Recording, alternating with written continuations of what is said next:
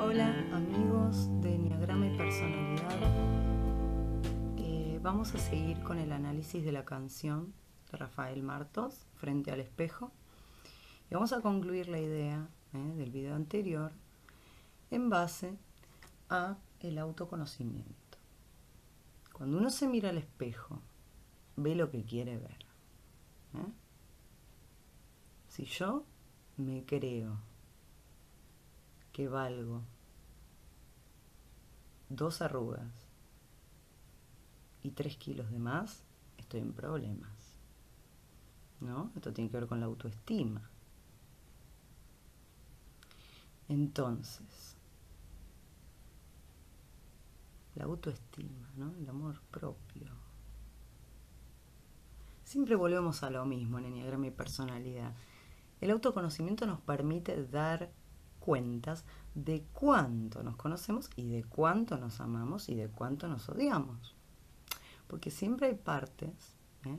lo vimos en cada eneatipo, como en todas las cosas, porque el universo es dual, lo dice el Kibalión, no lo digo yo, que son ambivalentes.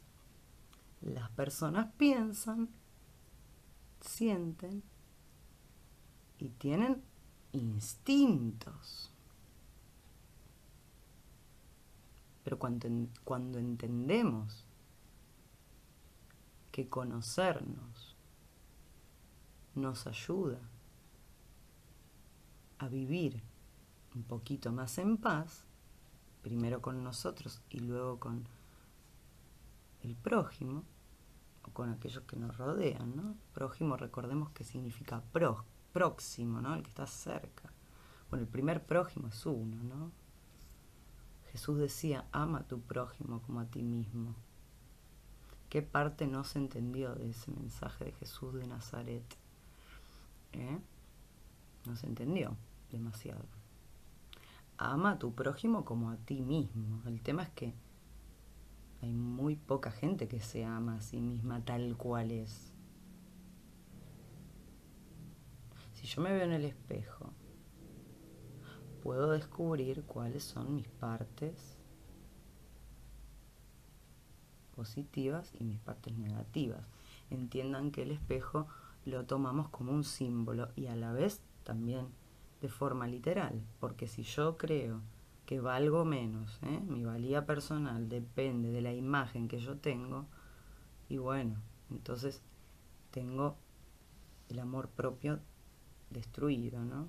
Viene uno y me dice qué bonita que estás, y viene otro y me dice sos un asco. Y la verdad es que a mí me da lo mismo, no sé a ustedes, pero a mí me tiene sin cuidado lo que pueda pensar el otro. Yo me levanto a la mañana, me miro al espejo, bueno, me lavo la cara, ¿no? Porque si no... Me lavo la cara, me miro al espejo y encuentro a Pauli. Encuentro el ser. Encuentro la esencia. Porque Pauli también. Pauli, Paula es un nombre. Y yo no soy un nombre. Vos no sos el nombre que te pusieron.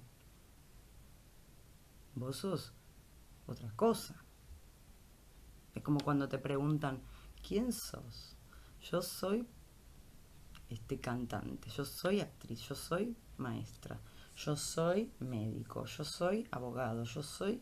No, vos no sos eso, vos trabajás de eso, en eso. Qué confusiones que hay, ¿no? Con este tema del ser, del autoconocimiento. Entonces, para ir empezando a sacar capas, así como estuvimos esperando la cebolla, tenemos que empezar por nosotros mismos. Y para empezar por nosotros mismos es un trabajo bastante arduo. Siempre uno quiere criticar al otro y, ¿no? y fijarse en los defectos de, en el afuera. Pero realmente eso ya estuvimos viendo que no sirve para el avance del ser. Sirve entender por ejemplo, ejercicio, ¿no? De mirarse al espejo todas las mañanas y sentirse igual. Y sentir que uno es uno mismo. Y que no, Y que el nombre que te pusieron tus papás no importa, o tus tutores o encargados, no interesa. Y que el color de pelo que te gusta que te tenís tampoco. Y si estás pelado, gordo, gorda, esas son cosas divinas de la vida, la diversidad. ¿Entienden? Qué aburrido, se los dije la otra vez, ser perfecto. ¿Para qué querés ser perfecto en, la, cara? Si todos tenemos algún defecto. ¿A malo el defecto? Amigate con el defecto. Es tuyo. Apropiátelo. Defendelo. ¿Quién quiere hacerte sentir mal? Seguramente, como vimos en trabajo con el enneagrama, el que tiene envidia. Y vieron que la envidia y los celos están muy emparentados. Entonces no, no seamos tan hipócritas.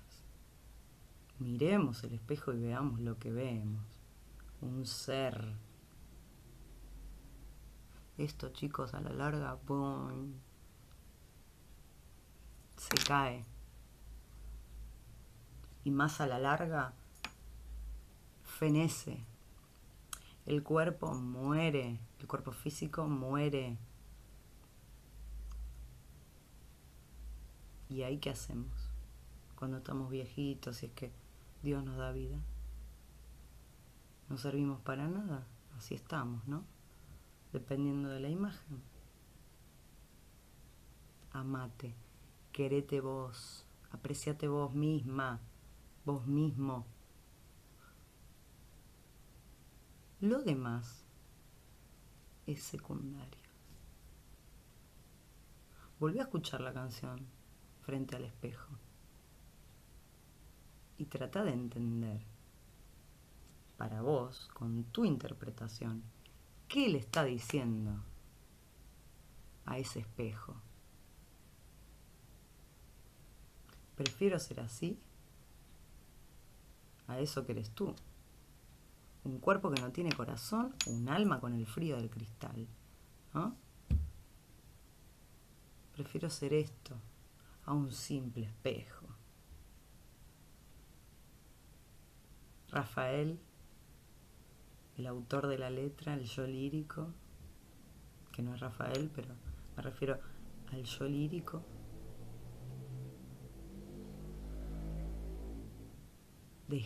le pasa eso, ¿no?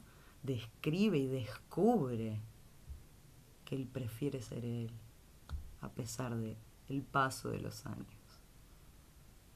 No le tengan miedo al paso de los años,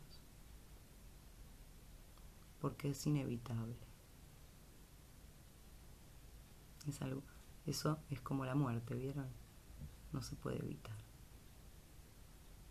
Amigos, Muchísimas gracias por su atención y espero seguir nutriéndolos desde mi experiencia para que puedan tener una vida más saludable y más equilibrada en todos los aspectos.